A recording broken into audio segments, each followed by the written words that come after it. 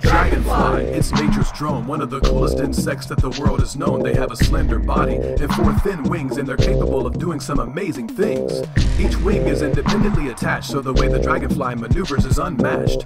It's an aerial acrobat. Can you talk a little more about that? Sure, the dragonfly can fly up, down, forward, and backward without turning around. And it can hover in place, but also fly at a pretty fast pace. We're talking up to 38 miles an hour. Mosquitoes and flies are what it likes to devour. Talk about hunting skills, dragonflies are great. They have a 97% success rate. That's way better than any other predator. They really don't even have a close competitor. And just for example, when lions hunt, more than half the time they come back with no lunch. Dragonflies actually help humans by controlling the pest population. A single dragonfly can eat hundreds of mosquitoes per day. So where is the dragonfly's habitat? Anywhere fresh water is found, like ponds and lakes, canals and riverbanks, be sure they'll be hanging around. You can find them all over the world. They're on every continent except Antarctica.